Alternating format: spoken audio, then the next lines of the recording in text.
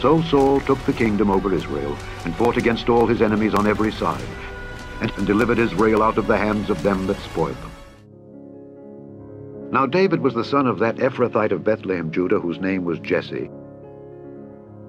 And Samuel did that which the Lord spake, and came to Bethlehem. And it came to pass that he looked on David and said, Surely the Lord's anointed is before him. And the Philistines stood on a mountain on the one side, and Israel stood on a mountain on the other side. And there went out a champion out of the camp of the Philistines named Goliath of Gath. And he stood and cried unto the armies of Israel. When Saul and all Israel were dismayed and greatly afraid. And the sons of Jesse went and followed Saul to the battle. And David was the youngest. Then said Saul unto the people that were with him, Number now, and see who is gone from us. And when they had numbered, behold, Jonathan the son of Saul and his armor-bearer were not there. And David girded his sword upon his armor, and he essayed to go. But David hasted and ran toward the army to meet the Philistine. And David put his hand in his bag, and took thence a stone, and slang it, and smote the Philistine in his forehead, that the stone sunk into his forehead, and he fell upon his face to the earth. So David prevailed over the Philistine with a sling and with a stone, and smote the Philistine and slew him. But there was no sword in the hand of David. And when the Philistines saw their champion was dead, they fled. And David brought Jonathan to Jerusalem. And Saul took him that day, and would let him go no more home to his father's house. And it came to pass, when he had made an end of speaking unto Saul, that the soul of Jonathan was knit with the soul of David, and Jonathan loved him as his own soul. And Jonathan stripped himself of the robe that was upon him, and gave it to David. And David went out whithersoever Saul sent him, and behaved himself wisely. And Saul set him over the men of war, and he was accepted in the sight of all the people, and also in the sight of Saul's servants. Samuel said unto Saul, I will not return with thee. The Lord hath rent the kingdom of Israel from thee this day, and hath given it to a neighbor of thine that is better than thou. And the Spirit of the Lord came upon David from that day forward. Saul was very wroth, and he said, What can he have more but the kingdom? Michal, Saul's daughter, loved David. And they told Saul, and Saul saw and knew that the Lord was with David. And Saul was yet the more afraid of David.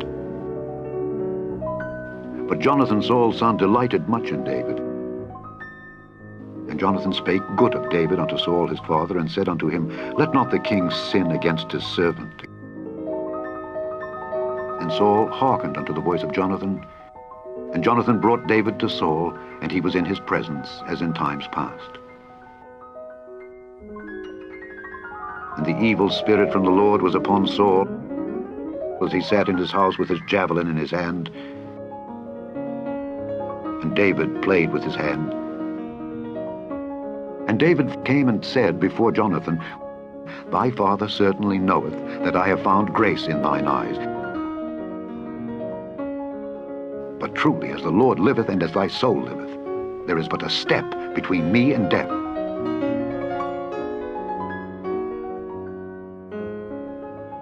Then said Jonathan unto David, Whatsoever thy soul desireth, I will even do it for thee.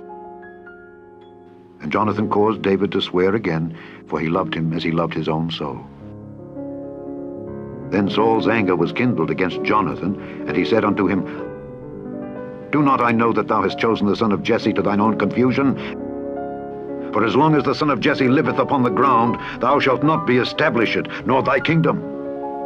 Wherefore now send and fetch him unto me, for he shall surely die. And Jonathan answered Saul his father, and said unto him, Wherefore shall he be slain? What hath he done? And Saul cast a javelin at him to smite him, whereby Jonathan knew that it was determined of his father to slay David. So Jonathan arose from the table in fierce anger, and David arose out of a place toward the south, and they kissed one another and wept one with another. And David was in the wilderness of Ziph. And Jonathan, Saul's son, arose and went to David and strengthened his hand in God. And he said unto him, Fear not, for the hand of Saul my father shall not find thee, and thou shalt be king over Israel, and I shall be next unto thee. And they two made a covenant before the Lord. And the Philistines followed hard upon Saul and upon his sons. And many of the people also are fallen and dead, and Saul and Jonathan his son are dead also. And David lamented with this lamentation, O Jonathan, very pleasant hast thou been unto me. Thy love to me was wonderful, passing the love of women. And David lamented because of the Lord's oath that was between them, between David and Jonathan, the son of Saul.